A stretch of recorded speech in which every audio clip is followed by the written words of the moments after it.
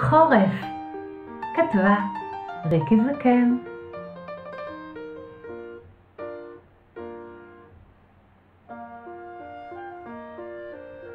מטפטף על הראש ומטפטף על האף.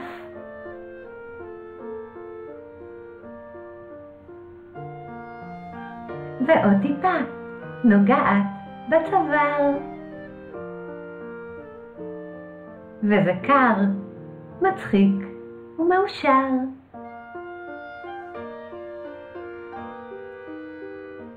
שואל את החורף, האם חולף או נשאר?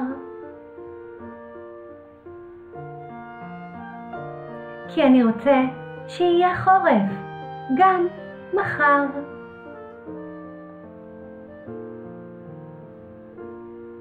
ותבוא עוד טיפה על הראש, על האף.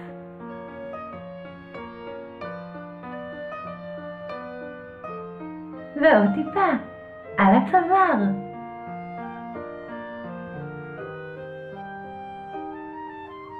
וזה קר, מצחיק ומאושר.